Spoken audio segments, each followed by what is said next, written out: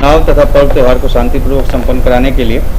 लगातार अपराध कर्मियों के विरुद्ध विशेष अभियान चलाया जा रहा है। इसी क्रम में यह सूचना मिली कि इसाकचक थाना क्षेत्र के ब्रह्मपुरा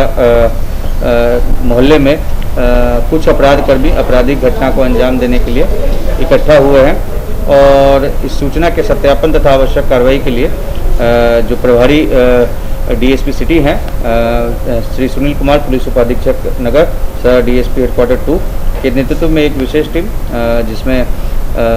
जो जिला डीआईयू के पुलिस पदाधिकारी और कर्मी तथा इसाकचक थाना के पुलिस पदाधिकारी एवं कर्मी, एवं अन्य जो आसपास के थाना हैं, कोतवाली, तिलका, मांझी बरारी और ज़ीरो माइल जोक्सर इत्यादि को वहाँ पर भेजा गया और वहाँ पर जब छापेमारी की गई तो चार व्यक्तियों को गिरफ़्तार किया गया है। और इन सभी के पास से भारी मात्रा में बम, देसी बम हथियार तथा उसके कारतूस, छर्रा, खोखा, बम बनाने का सामान, laptop, mobile digital weight machine और विदेशी शराब बरामद की गई है।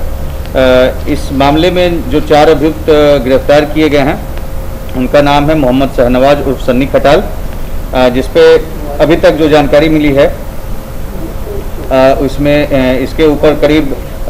नौ से दस केस इस पर दर्ज हैं पूर्व से। नीरज कुमार यादव उर्फ़ पलटू यादव जिसपे हत्या इत्यादि के भी और जो इस पर भी सात केस दर्ज हैं और पूर्व में भी इस पर जो तीन सौ पंचानवे जो कि डकैती वगैरह का केस इस पर दर्ज है। ओम कुमार उर्फ़ लल्ला इस पर भी आधा दर्जन से ज़्यादा केस दर्ज है। और सौरभ सुमन उर्फ़ सन्नी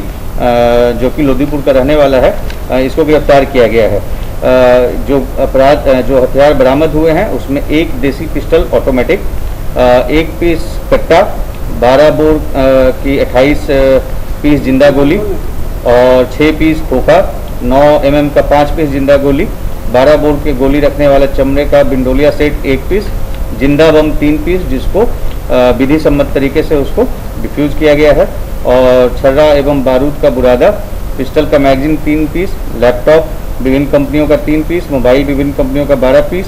पिस्टल वेट मशीन एक पीस, पिस्टल कोड एक पीस, बम बनाने में प्रयोग होने वाले खाली डब्बा बारह पीस,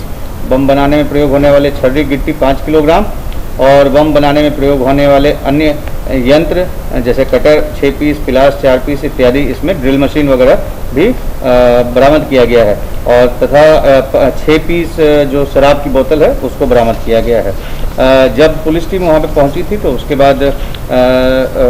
जब वहाँ पे छापेमारी जारी थी तो कुछ लोगों के द्वारा वहाँ पे विधि व्यवस्था की समस्या भी उत्पन्न करने की प्रयास किया गया था, परंतु भारी संख्या में पुलिस पदाधिकारी और बल के द्वारा उनको इस प्रयास को सफल नहीं होने दिया गया तथा उनको खदेड़ दिया गया था।